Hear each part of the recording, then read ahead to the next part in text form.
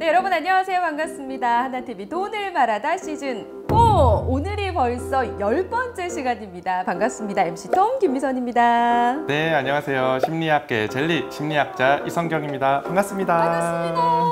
지금까지 돈을 말하다에 나오신 출연자분들이 굉장히 많으시잖아요. 네네. 이분들이 이제 다양한 MBTI를 가지고 계시는데 각자 개성도 굉장히 도드라지고 어, 들어보니까 직업군도 굉장히 다양하시더라고요. 네. 그래서 문득 또 궁금해지는 게 있는데 뭔가 이 특정한 직업에 특정한 MBTI가 몰려있다 뭐 이렇게 생각을 해봐도 될까요? 아, 네. 음. 그 심리학자들이 오래전부터 MBTI와 직업 간의 관계를 연구를 해왔는데요. 음. 이 MBTI가 이 직업을 가져야 한다라는 인과관계는 없습니다. 음. 하지만 MBTI와 직업 간의 음. 관련성이 아주 많다라는 연구 결과들은 많이 나오고 있습니다. 네, 예를 들어서 회계직이나 사무직을 하시는 경우에는 음. ST 유형이 관련성이 아주 많았고요. 또 사회복지나 교육 계열에 음. 있으신 분들은 NF적인 유형 특성을 가지고 있었습니다. MBTI를 통해서 뭐 내가 가지고 있는 적성, 성향 뭐 이런 것들을 좀 알고 직업을 선택하면 적응해 나갈 수 있는 시너지가 좀 생기는 것 같아요. 네, 그럼 또 맞습니다. 좋은 게 있잖아요. 직업을 잘하면 일단 돈을 벌 수가 있으니까 또 좋은 거 아니겠어요? 그죠? 맞습니다. 네. 오늘 그래서 오실 주인공은 또 어떤 MBTI를 가지고 계신지 정말 궁금한데 이분은요 제가 들으니까 저처럼 약간 대중들 앞에서는 그런 직업을 가지고 계신다고 합니다. 너무너무 궁금한데 한번 저희가 모셔보도록 하겠습니다. 자, 그럼 한번 모셔볼까요? 어서 오세요. 어서오세요. 안녕하세요. 어, 안녕하세요.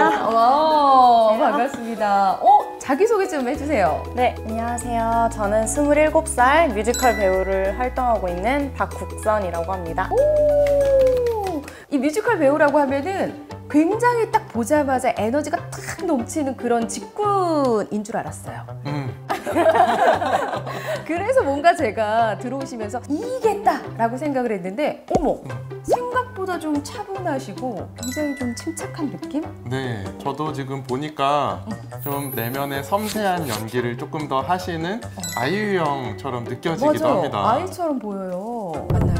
맞습니다. 어, 그러면 아이인 거는 일단 알겠고 저희가 일단 국선 씨의 또 MBTI를 또 추측할 수 있는 아, 질문을 좀 드려보도록 할게요. 이상형을 골라주세요.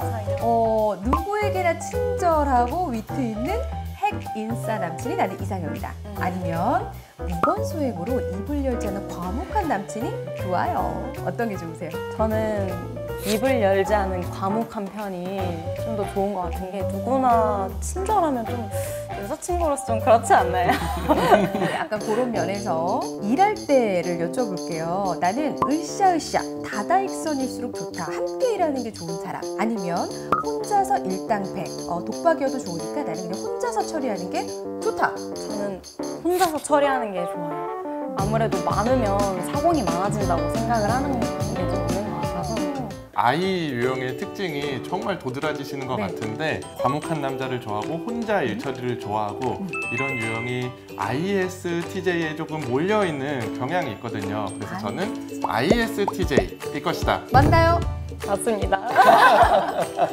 부정할 수가 없어요. 그죠? 아 근데 ISTJ가 이게 대한민국에서 가장 많이 나오는 유형이라고 들었거든요. 어떤 성향을 가지고 있는 거예요? 어, 네, 일단은 10명 중에 한 명은 네. ISTJ라고 봐도 무방합니다. 그래서 이 우리나라에서 가장 많은 유형이고요. 음. 세상의 소금형이라는 별명을 가지고 있어서 보이지 않는 곳에서 네. 열심히 일을 처리하는 그런 유형인데요. 근면성실하고 책임감도 높고 인내심도 많이 가지고 있어서 맡은 일은 끝까지 해내는 그런 유형이라고 설명드릴 수 있겠습니다. 이런 분은 직업을 뭘 가져야 되는 거예요? 앞서 말씀드린 것처럼 네. 회계사나 돈을 관리하거나 사무직 어. 할수 있는 일이 잘 맞기도 하고요. 또는 이렇게 내면을 탐구하다 보니까 지금 뮤지컬 배우 하시면서도 섬세한 연기 같은 거를 세심하게 잘 해내실 수 있는 강점을 가지고 있습니다. 그러네요. 아니, 이거 뮤지컬 배우라고 하셨어요. 잘 하고 계신 거네요, 보니까.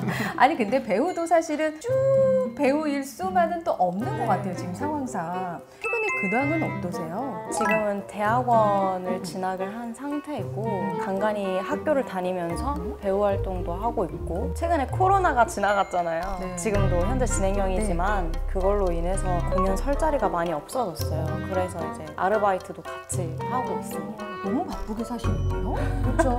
계획적으로 잘 잡혀 있는 사람이다라는 그런 생각이 좀 드네요.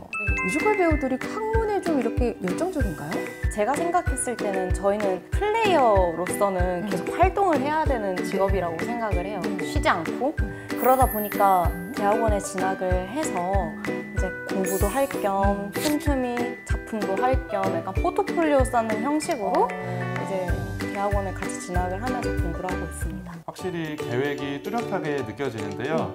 이 ISTJ, ETJ 분들은 자신이 생각했을 때 만족스러운 결과를 내기 위해서 굉장히 체계적이고 논리적인 계획을 세워서 실천합니다. 네. 그래서 또 별명 중에 하나가 지극히 현실적인 현실주의자다라는 이야기도 할 수 있습니다.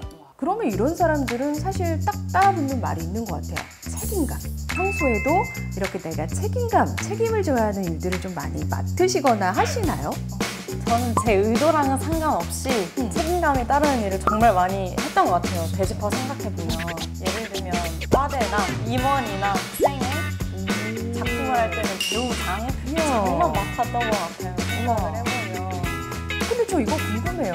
이 뮤지컬 학과에는 E형의 이런 친구들이 두글두글 하단 말이죠. 근데 이제 우리가 봤을 때 우리 국장님은 I형이시잖아요. 그러면 이 E형들 안에서 뭔가 나만의 버틸 만한 그 inner peace라고 해야 되나 뭐 이런 방법이 좀 있을까요? 아, 네 있어요. 음. E형 친구들이랑 있으면 기가 정말 많이? 빨려요. 그 run 돌자라고 해가지고 1막부터 2막 끝까지 쫙 연습하는 그거를 run이라고 하거든요. 근데 그 run을 딱 돌고 나면 3시간 정도 하니까 음. 기가 빠져야 되는 게 정상인데 네.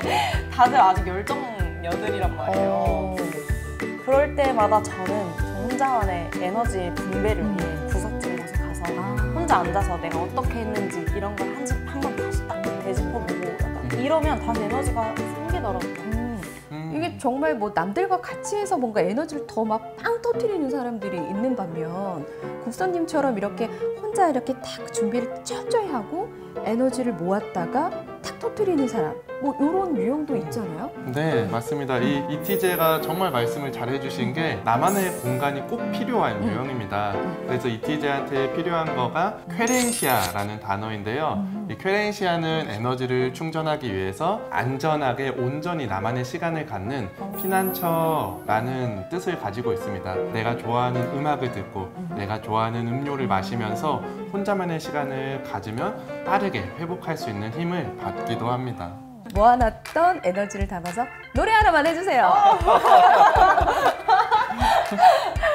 배우시니까 오디션 보실 일도 되게 많으실 거 아, 아니에요? 네, 맞아요. 오디션에서 나만이 하는 18번이라고나 해야 될까? 오디션장에서 최근에 불렀었던 곡을 한번 짧게 불러보겠습니다. 그래 있는 힘껏 멀리 날아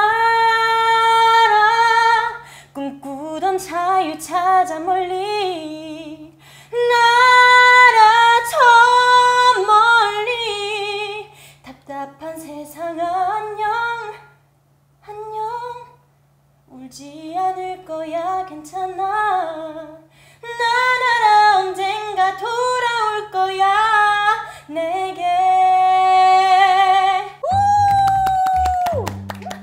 박수 치세요. 박수 치세요. 네. 와, 이거 어느 작품에서 Catch Me If You Can이라는 뮤지컬로 알고 있고 네. 이 뮤지컬 노래를 제가 정말 약간 팝적인 이 느낌을 너무 좋아해서 자주 오. 부르게 됐던 것 같아요 와 너무 잘하세요. 배우의 힘은 이런 것 같아요. 그렇죠? 역할이나 작품이나 뭐 이런 것들에 따라서 또 내가 뮤지컬 배우로서 받는 출연료도 조금씩 다르잖아요. 뮤지컬 같은 경우에는 정말 고정적이지 않은. 정말 열심히 두 달 해도 20도 못 받는 경우도 있고 한 회당 천이 넘어가는 경우도 있고 얼마다라고 하는 그 고정적인 건 잘 없는 것 같아요. 그럼 이런 생각이 좀 드네요. 아무래도 본인도 그러시겠지만 우리도 걱정이 되는 게 지출할 때 좀 많이 신경이 쓰이시겠어요. 저 같은 경우에는 아까 말씀드린 것처럼 아르바이트를 하고 있는데 제가 한 군데를 하는 게 아니라 두 군데를 하고 있어요. 사실 그렇게 많은 돈은 아니지만 30만 원으로 딱 정해놔요. 나머지는 부모님께 드리거나 아니면 청년적금 그 하는 거 20만 원씩 들고 있거든요. 예술인 같은 경우에는 지원금을 받거든요. 그렇죠. 코로나 지원금이나 아니면 예술인 지원금 이렇게 받아요. 잘하시고 계신다라는 말씀을 드려야 될까요? 아니면은 좀더 쓰셔도 될것 같다는 말을 드려야 될까요? 어쨌든 좀 체계적으로 계획적으로 잘 쓰고 계신다라는 생각이 조금 들기도 합니다. 어떠세요? 이 이티제의 특징 중에 하나가 근면 성실함이잖아요. 네. 소비도 근면 성실하게 하시는 것 같은데요. 음. 그렇다 보니까 지금 소비하는 패턴이 아, 내 성향대로 소비를 하고 있다라고 말하지만 음. 사실 현대 사회는 너무 빠르게 급변합니다. 때문에 조금 더 유연하게 소비를 하시는 것도 연습을 하시면 음. 도움이 되실 수 있어요. 내가 꼭 돈을 좀 모아서 이것부터 좀 하고 싶다. 또 뭐 있으실까요? 독립을 한번 해보고 싶어요. 오. 혼자서 뭔가 이루는 것도 해보고 싶고 너무 안정적이다라는 생각을 요새 정말 많이 하고 있는 것 같아요. 좋습니다. 오늘 이렇게 어, 뭔가 지출에 대한 이야기도 좀 저희가 들어보니까 국선님을 조금 더 잘 이해할 수 있었던 시간 또한 ISTJ 유형에 대해서도 알 수 있었던 시간이었던 것 같아요. 오늘 함께 하셨는데 마지막으로 저희가 드리는 질문이 있거든요. 국선님에게 돈이란 무엇일까요? 나에게 돈이란 움직이게 하는 힘이다. 저희 표현을 살짝 빌려서 목표를 인사로 해라 라는 말을 정말 많이 해요. 그래서 우리는 돈을 벌어서 공부도 하고 독립도 하고 아주 배우다운 멋진 말씀을 좀 해주셨던 것 같은데 앞으로 새로운 무대에서 우리 국선님을 더 많이 우리가 볼 수 있는 날이 있었으면 좋겠고 빨리 코로나가 끝나서 무대를 저희가 찾아갈 일이 많았으면 좋겠다는 생각을 해봅니다. 자 오늘 함께 하셨는데 어떠셨어요? 사실 ISTJ에 대해서 유형을 검색해서 본 적이 많이 없거든요. 이렇게 들으니까 저를 이미 알고 계셨던 것 같기도 하고 너무 똑같아서 놀랐는데 심리학계의 무당이에요. 어, 오늘 함께 해주셔서 너무너무 감사하고요. 저희 마지막으로 구독, 좋아요, 알림 설정 외치면서 함께 끝내보도록 하겠습니다. 구독, 좋아요, 알림 설정. 여러분 다음에 더 새로운 MBTI 유형과 함께 하겠습니다.